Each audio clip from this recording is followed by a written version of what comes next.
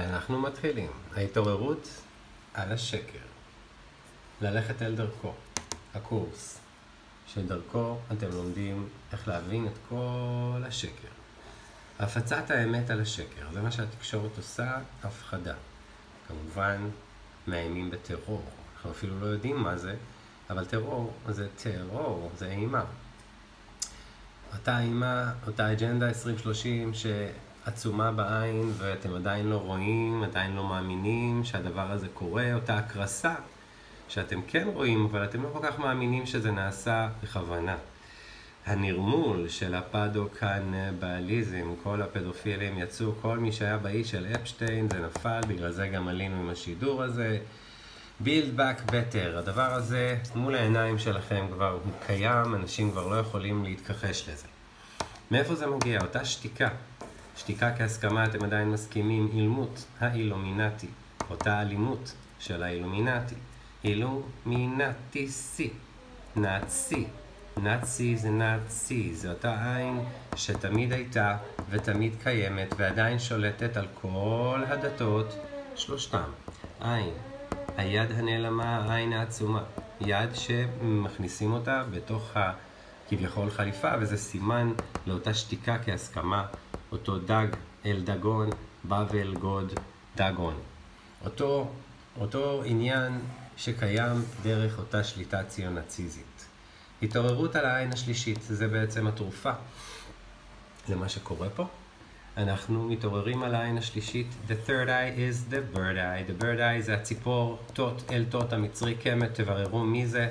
הציפורן, אותו לוציפר, אותו רצפה מרצפת, אותה אילומינטי, אילומינציה זה הכל, קשור בהכל, אותה אלומת אור, זוהר, הסוד, קבלה, אותו דבר בעצם, באים להראות לכם איזשהו חושך מפחיד, באנו חושך לגרש, אז איך אנחנו עושים את זה? האילומינטי עושים את זה על ידי העובדה שהם מוארים, אלומת האור, זה אילומינטי. חצי, אותו אה, בודהה, אותו אום, אותו לאום. אם תסובבו את הסמל של האום, של הבודה, אתם תראו אללה בערבית.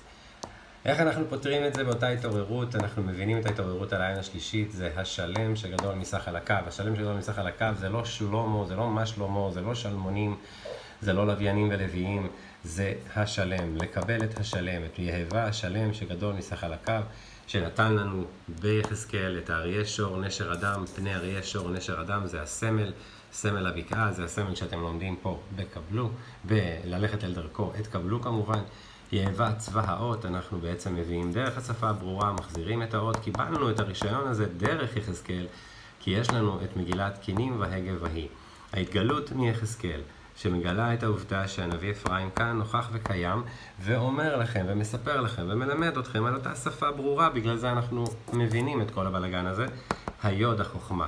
זאת מה שאנחנו לומדים, היוד החכמה, היוד שגנבו אותה מיאבה, אנחנו עשר הספירות, עלינו א' ת' עם מ' באמצע, הכל, קל, כל מ' זה בעצם האמצע, יש לך את הכל באמצע, כלם זה מלך, זה או שתחיה בכלום או שתחיה במלכות, אתה מבין את א' ת' וכתבתם על מזוזות מזוויות ביתך, באמצע המ', מפה, זו אותה מקרא. האשליה של מה שהיה עולם טוב ורע, העולם הגרוע, העולם הרע, עץ הדעת טוב ורע, זה היה אשליה, זה היה בדיוק המפה להבין את המקרא. אנחנו מלמדים את עץ החיים, וישכן אלוהים מקדם, דרך ספר עץ החיים. כל מה שאתם לומדים כאן, זה הייתה רק הבנה להבין מה, איזה סוג אופי של דברים אתם לומדים. נכון, כתוב ונביא היה בתוכם וידעו כי נביא היה בתוכם, אתם לא תסכימו, אז כתוב שלא תסכימו, זה לא נורא. זה עדיין יתממש ומתממש. אתם יכולים לבוא ללמוד, אתם מוזמנים, 250 שקלים הקורס שלכם, ומדהים.